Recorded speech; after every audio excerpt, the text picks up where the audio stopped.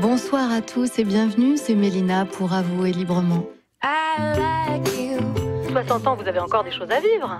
Vous pouvez encore vivre une sexualité très épanouissante. Vous rencontrez un jeune amant, vous baisez toute la journée. Ouais, oui. Eh ben oui, eh ben, bien sûr. Merci Mélina. Au revoir Josiane. Au revoir.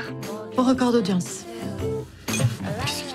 Si on prend le personnage qu'elle est dans la vie, dans la vie de tous les jours, en dehors de, ses, de, de sa vie professionnelle, il y a quelqu'un qui s'est constitué dans le manque d'amour, dans euh, une difficulté à aimer, à être avec l'autre, donc, dans une certaine solitude, et qui a dû pour avancer se créer une, une carapace. Et donc, euh, quelque part, c'est à la fois consolidé, mais c'est aussi fermé des autres. Et en même temps, on ne peut pas vivre euh, sans avoir un minimum de liens et d'échanges. Et donc, Mélina, Claire, qui, donc, a pris ce pseudonyme de Mélina, euh, a trouvé dans ce monde de la radio un endroit où elle était susceptible d'être dans l'échange avec l'autre, tout en restant protégée, à l'écart, rassurée, puisque c'est quelqu'un qui a une vraie vulnérabilité, une vraie fragilité. Donc effectivement, c'est très, très différent. En plus, c'est souligné par une double identité de prénom, par le jour et la nuit, par, euh, par une façon d'être beaucoup plus détendue, beaucoup plus empathique euh, la nuit, puisqu'elle est protégée, elle est dans un milieu connu, rassurant, et euh, elle est aussi protégée par son anonymat. Et, euh, et, dans la vie, quelque chose qui pour elle est en dehors de ses lieux connus, de ses lieux familiers, quelque chose qui est beaucoup plus stressant et vers lequel, enfin, dans lequel elle se referme beaucoup plus facilement. Est-ce que vous vivez seule? Oui. Et est-ce que vous êtes heureuse? C'est quelqu'un qui a évidemment, probablement, réfléchi sur elle-même, euh, voilà, s'est questionné par rapport à ses propres impuissances, à sa difficulté à, être avec les autres et à aimer.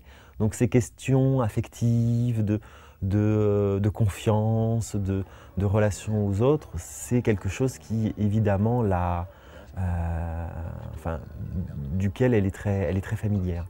Et, le chemin du film, en fait, c'est réussir à faire en sorte que ces deux facettes, euh, dans, à travers cette quête, cette quête de parents biologiques, puissent ne faire qu'une.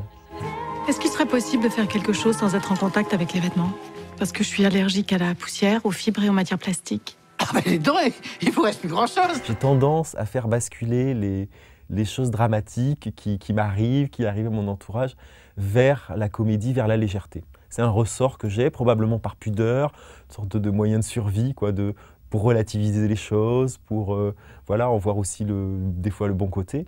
Et je sais que, évidemment, j'ai tendance à transmettre dans mes personnages féminins quelque chose de ce, de ce ressort vital finalement, parce qu'il y a quelque chose aussi d'une sorte de réaction, de protection, mais aussi de réaction de ne pas se laisser euh, euh, apesantir dans ce qui pourrait être de l'apitoiement, de la désespérance, et finalement d'être... Voilà, de, de s'enfuir vers une certaine légèreté, une certaine comédie. Je m'assois Ah non Il faut détendre deux secondes là. Mais je ne suis pas détendue. Je n'ai pas besoin de me détendre. Assez tôt, j'ai eu besoin, moi, d'imaginer une comédienne. Pour moi, pour, pour me dire, mais qui ça pourrait être Pour essayer de la voir évoluer, de l'entendre parler, de la voir se déplacer dans mon imaginaire. Et j'ai réfléchi à une comédienne qui donc serait aussi à l'aise dans, ce, dans les scènes de comédie que dans les scènes de drame, dans l'émotion. Et là, Karine Viard est venue assez instantanément parce que euh, je trouve qu'elle a cette facilité de, de, de registre euh, assez, euh, assez époustouflante. Je trouve qu'elle a une vraie justesse dans les deux registres. C'est intéressant de travailler sur l'image de Karine Viard, de travailler sur, cette, sur sa beauté, de comment elle pourrait être très glacée, de, de travailler sur une image assez froide et de laisser derrière, ensuite, en arrière-plan, venir quelque chose de plus humain, de plus fragile, de plus, de plus burlesque, ce qui n'est pas un a priori de, ce, de cette image d'Épinal à la base. On vous a jamais dit que vous aviez la même voix que la conne de la radio? Ah bon? On était très inquiets, euh, aussi bien Karine que moi, de rendre avec justesse ce, euh, ce monde de la radio, d'autant plus que pour elle, il y avait une vraie, vraie, pression de rendre crédible le fait que Mélina était l'animatrice la plus écoutée, la plus aimée des auditeurs français. On s'est dit que ce qui rendrait vraiment crédible ce, personnage, c'était la, justesse de la, de la relation et de la rendre la plus, la plus vivante et la plus en empathie possible.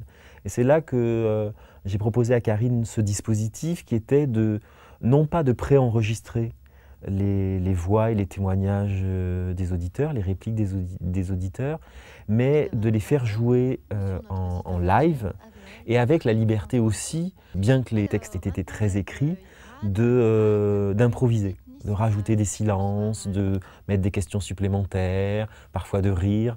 Et donc c'est ce qui a créé, je crois, je crois, cette empathie, parce que ils avaient aussi le chacun, aussi bien Karine que l'auditeur, pouvait être surpris par une phrase qui était rajoutée, par un mot qui, était changé, par un silence qui n'était pas écrit. Et je crois que c'est ce qui a concouru à, cette, euh, à une certaine aut- aut- authenticité.